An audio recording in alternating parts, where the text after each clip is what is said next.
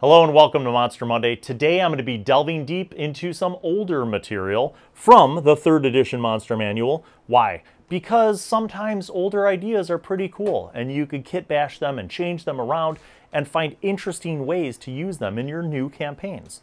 So, on today's episode, we're going to check out the Ethereal Filcher.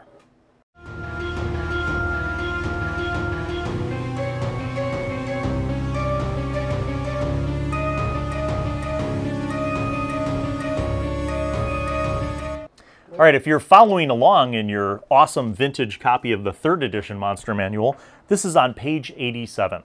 The ethereal filcher is a medium-sized aberration. What I like about this is that it's a sneaky creature. You know how sneaky creatures work, right?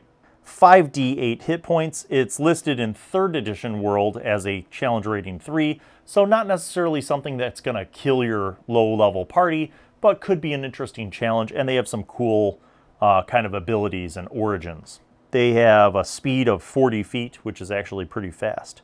Uh, armor class of 17.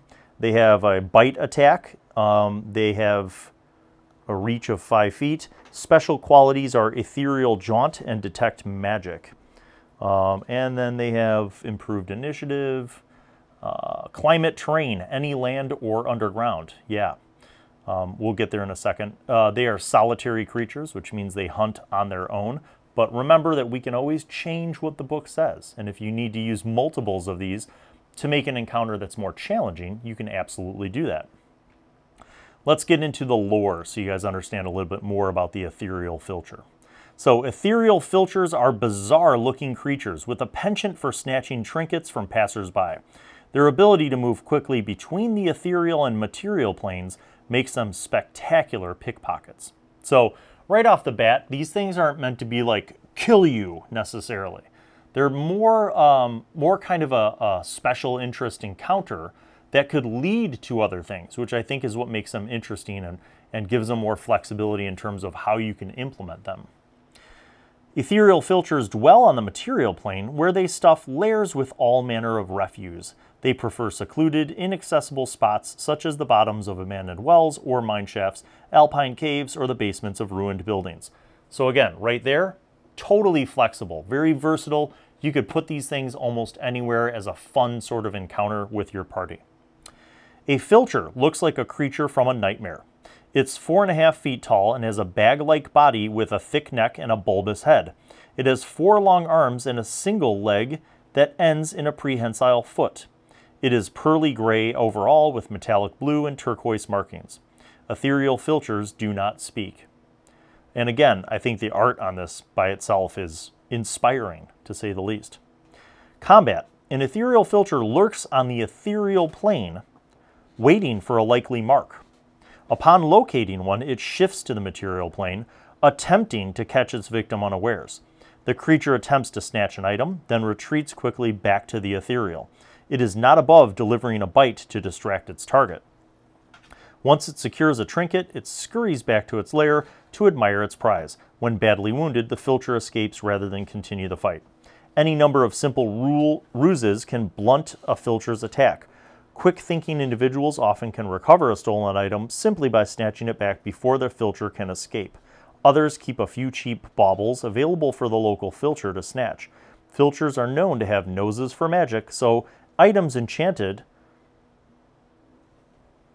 sorry, items enchanted with Nystul's magic aura or continuous flame spells often prove irresistible, especially if they're also gaudy.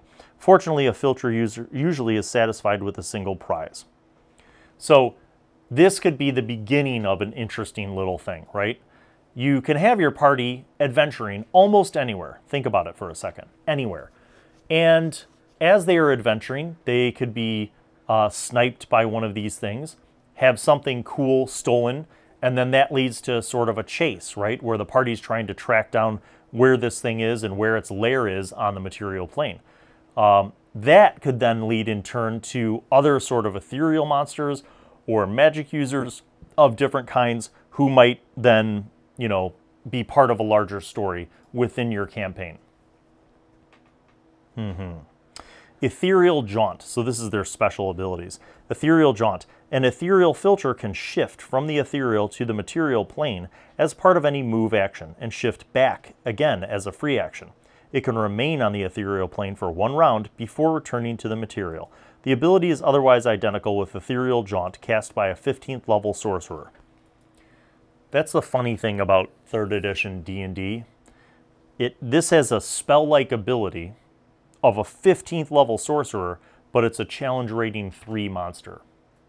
So it's it's kind of OP in that way, right? If you were thinking, if I told you like, yeah, I'm gonna let you have a level 3 rogue or thief, but you can pop in and out at will between the ethereal and, and material plane, that dude would be fierce. The, would be the most renowned thief of all time, right?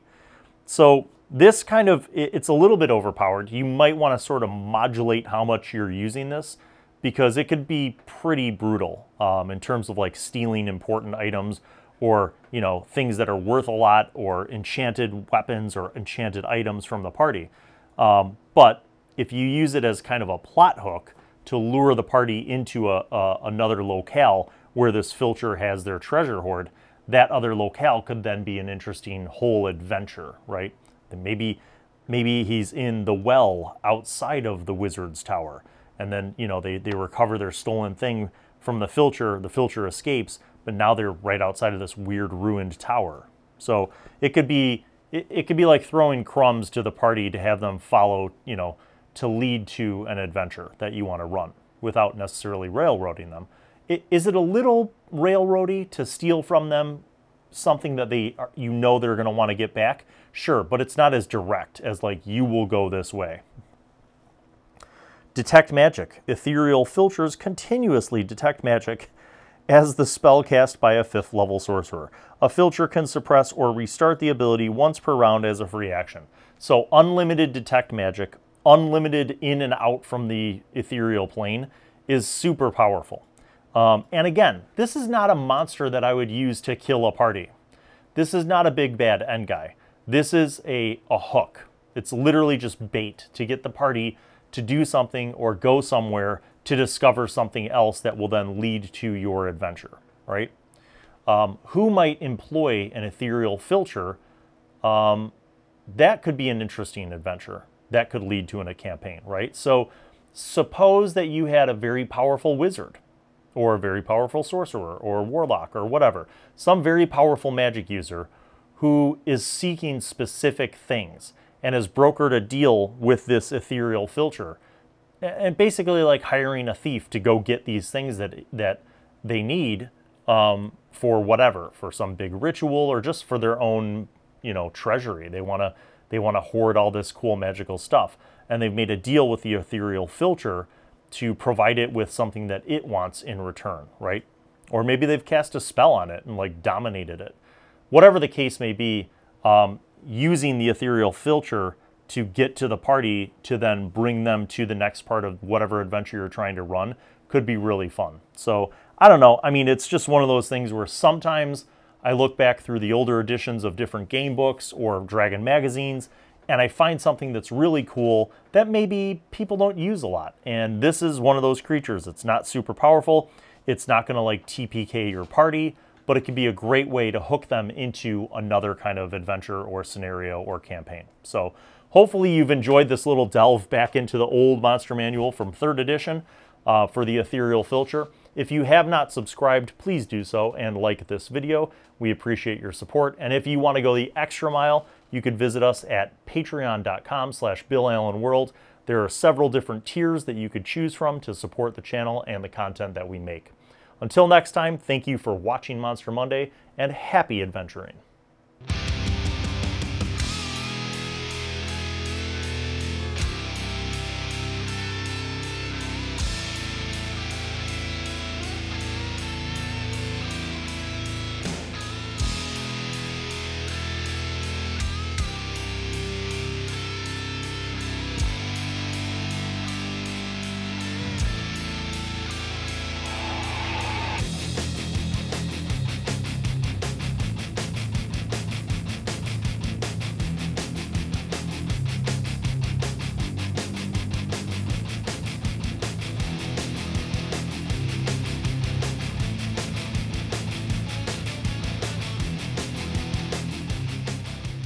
Well, hello, and welcome to Bill Allan World.